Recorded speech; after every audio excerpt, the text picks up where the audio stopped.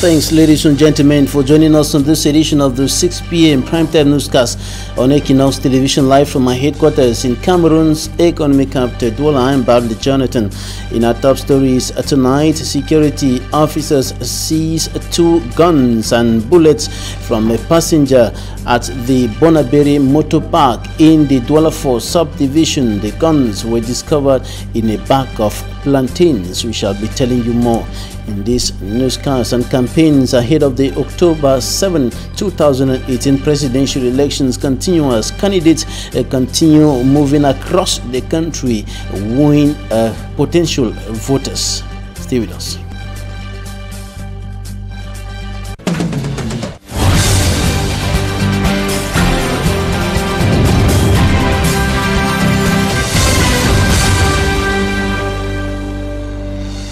Thanks, ladies and gentlemen, for staying with us in this edition of the 6 p.m. primetime newscast on Equinoxe Television.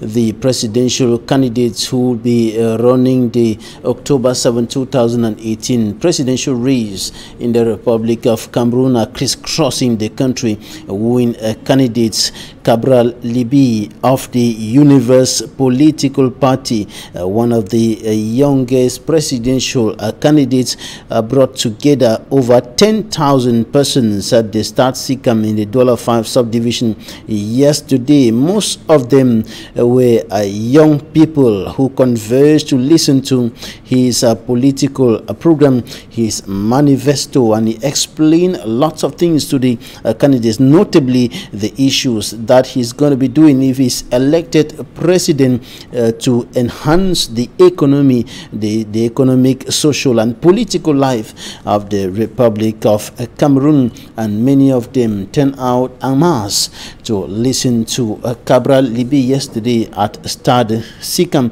It is one of the greatest crowds that we have seen so far since the presidential uh, election campaigns started over the weekend.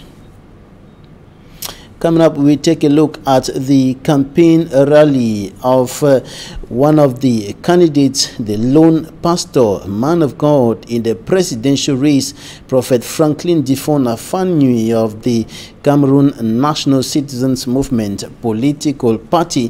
He was in uh, the country, he was in some parts of the country yesterday canvassing for votes as Innocent as he reports. Candidate Franklin Ndifor of the Cameroon National Citizens Movement political party was not in Betwa, Baron.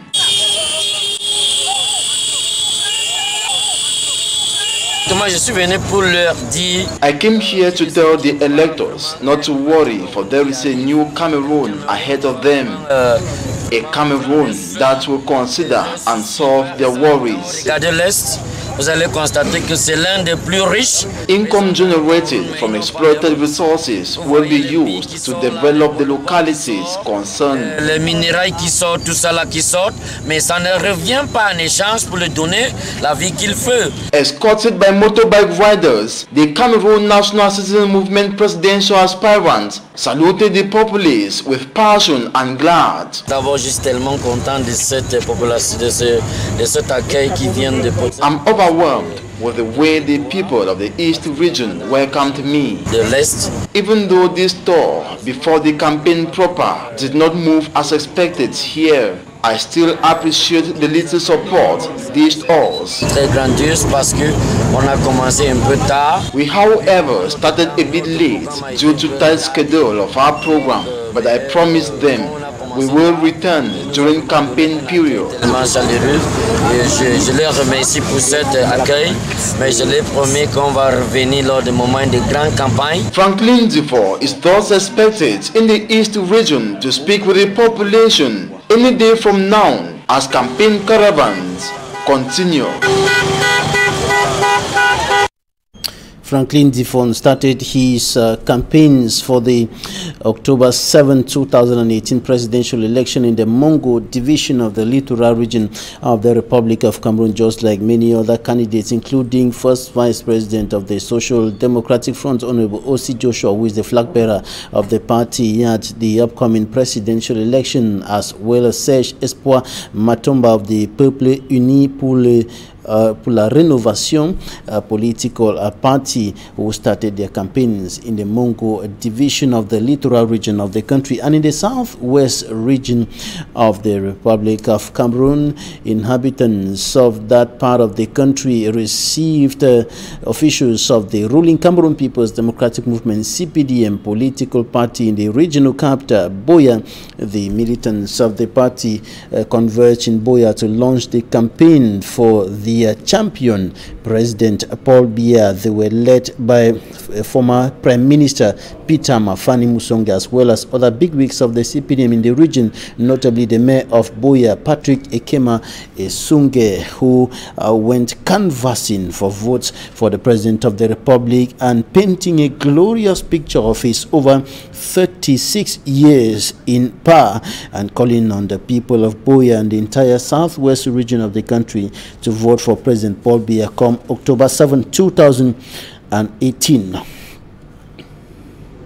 Now on to one of our lead stories, two guns and bullets discovered by security officials in the Bonaberi in the Douala 4 uh, subdivisions. And of course we're talking about the uh, guns that were discovered by uh, security officials at the motor park in the Bonaberi in the Douala 4 uh, subdivision. And the guns were discovered in a bag of uh, plantains. The guns were discovered in a bag that contained uh, plantains suckers and was heading to Kumba in the southwest region of the country. The police have opened investigations to track down the individual who was allegedly transporting the guns to the southwest region of the country and for what purpose the guns were being uh, transported to the southwest region of the country. Investigations course.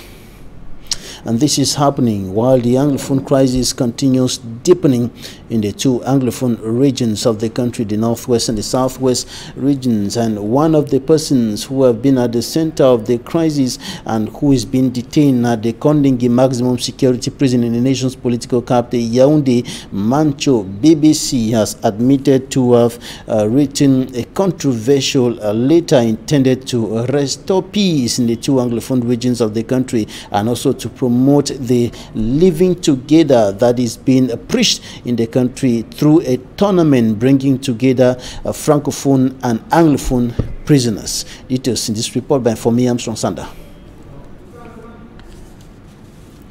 For me, Armstrong Sander, with this report concerning Mancho Bibixy, who is one of the detainees of the Anglophone crisis held at the Kondengui maximum security prison in the nation's political capital, Yaoundé, and he's, uh, he has admitted to be uh, taking some steps and some measures to enhance efforts to restore peace in the two Anglophone regions of the country, notably through a letter calling for a tournament between uh, French-speaking inmates and Anglophone inmates at the Kondengui Maximum Security Prison in Yaoundé with the intention of bringing them together in order to enhance the living together spirit among Cameroonians and also to restore peace in the two Anglophone regions of the country hit by socio-political and security crisis for more than two years today. Fomi, Armstrong Sander has more.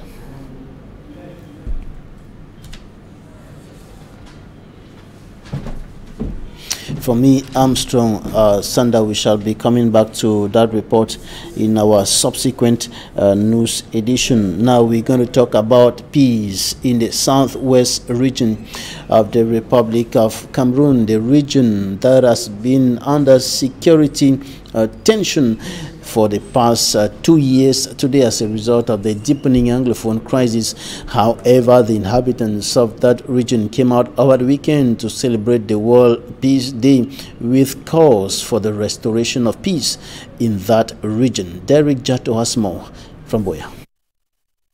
It was on June 20, 2018 that the Prime Minister Philemon Yunji Yang announced an 18-month emergency humanitarian action plan which was aimed at assisting displaced persons and victims of abuses in the northwest and southwest regions. The announcement later saw the outing of the Minister of Territorial Administration, Paul Atanga Nji, who announced the modalities at how the exercise will be carried out. Then came the different contributions by elites nationwide to assist government action. Four months gone, just areas like Peka Venset in Douala, Kumba, and Bamenda, where few persons stand out to collect items being shared, with most of those hit by the crisis still to receive the said items from the government. Many are now asking the question where is the money raised for the humanitarian aid? With the victims of the crisis in the northwest and southwest still living in worsening humanitarian conditions. Usman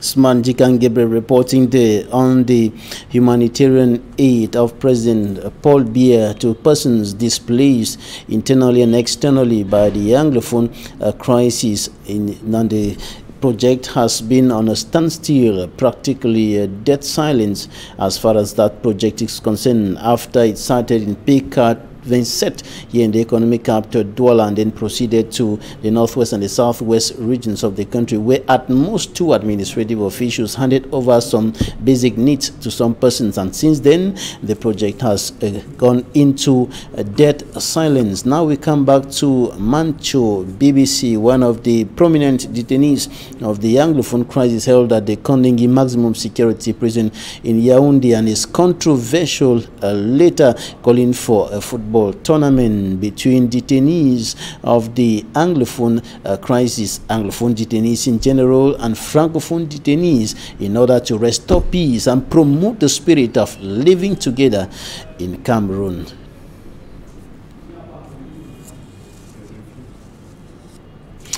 We'll be coming back to that report in a subsequent news edition now to Buea to talk about the World Peace Day that was observed amidst a tension and uncertainty as well as fear looming over the region as a result of the deepening Anglophone crisis. Derek Jato has more in Buea. For two years now, the only thing that has been present in the southwest region has been the absence of peace. The escalation of the Anglophone crisis in late 2016 has caused irreparable damages to many families here in the region. And this was the face Buea took as Cameroon joined the international community to commemorate the 2018 edition of World Peace Day. International Day for Peace. International Day for Peace. I'm a peace ambassador. Should, should be a peace crusader. He is Reverend Tah Che Williams, Presbyterian Church in Cameroon Peace counterpart and the parish pastor of Bokwango, the force behind this ecumenical movement.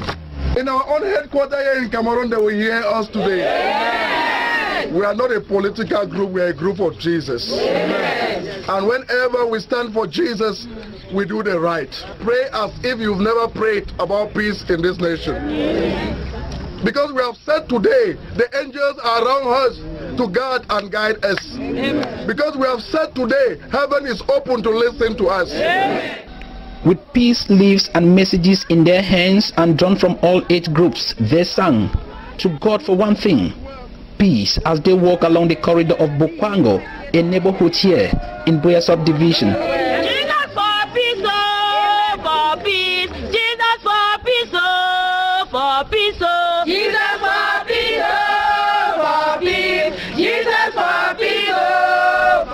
And to the men of God that were present, their hope is that God should heal the wounds of the victims and comfort the distress. The day ended with prayers for mercy at the Apostolic Church, Bokwango Buea. Now out of the country, over 382,000 immigrants seeking permanent residency status every year in the United States of America may be affected by proposals of penalties tabled by the Department of Homeland Security over the weekend and public consultations on the proposal will last for two months. Katsi, Euronews. The Trump administration is considering penalizing immigrants who have received or are likely to receive social assistance, such as food stamps and Medicaid. The proposal was put forward by the Department of Homeland Security on Saturday, and there'll now be a two-month public consultation period before it comes into force. The government reckons it will affect around 382,000 immigrants seeking permanent residency status every year. Undocumented migrants, those that enter the states illegally, are not eligible for any kind of social assistance, so it won't affect them. According to data presented in previous draft versions of the proposal, foreign-born Americans turn to social assistance at almost the same rate as native-born Americans. It's just one of many moves by the Trump administration to make migration to the United States more difficult. That's it for this edition of the Primetime Newscast on Equinoxe Television. Thanks for staying with us. Goodbye.